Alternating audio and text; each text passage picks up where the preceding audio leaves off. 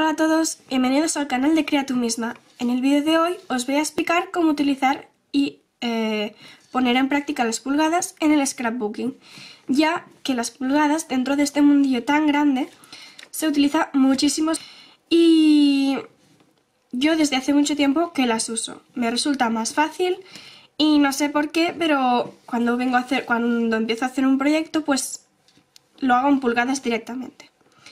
Y sé que muchísimas de vosotras pues no sabéis cómo funcionan y a la hora de hacer los proyectos pues no lo entendéis.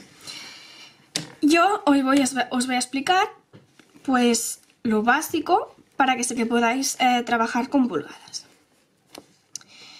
Dentro de una pulgada está dividida en diferentes partes.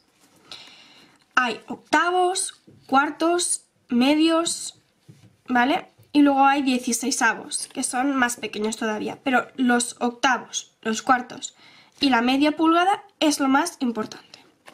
Primero de todo, una pulgada equivale a 2,58 centímetros.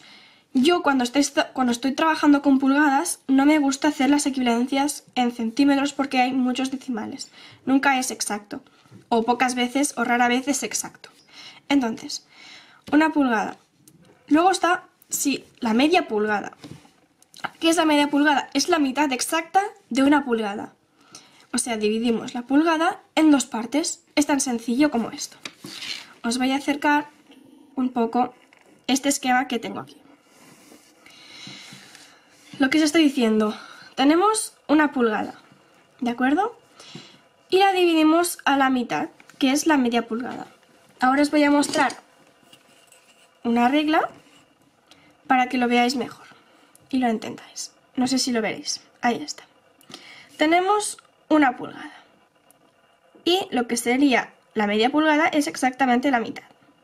Como podéis ver aquí. Aquí creo que lo veis mejor en el dibujo. Tenemos la media pulgada.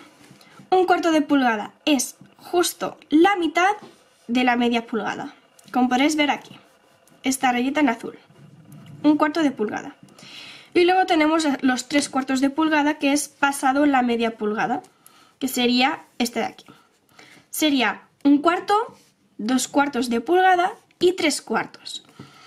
Se cuenta así, ¿vale? Pero dos cuartos de pulgada no lo ponemos porque es exactamente la, la media pulgada. Un cuarto de pulgada, la mitad de media pulgada. Tres cuartos de pulgada, la otra mitad. Un octavo de pulgada, pues un octavo de pulgada no se utiliza tanto. Ya os digo, lo que más veréis es un cuarto de pulgada, media pulgada y tres cuartos. Son estas tres de aquí, las principales.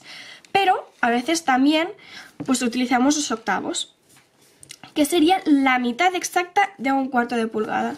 Por ejemplo, me, me están pidiendo cinco octavos, pues contamos. Un octavo, dos octavos, tres octavos, cuatro octavos, cinco octavos. Pues aquí estaría. Luego están los 16 avos, pero son la mitad exacta de un octavo de pulgada. No lo suelo usar. Ni yo ni muchas scraperas. O sea, es, una, es la unidad más pequeña. Es como el milímetro de los centímetros. os lo explico para que sepáis lo que es, pero no se usa, mm, básicamente. Que es la mitad de un octavo son las líneas más pequeñas que tenemos en la pulgada, ¿vale? La mitad de un, de un octavo. Y bueno, estas son las bases para entender una pulgada, las partes que son las principales de una pulgada.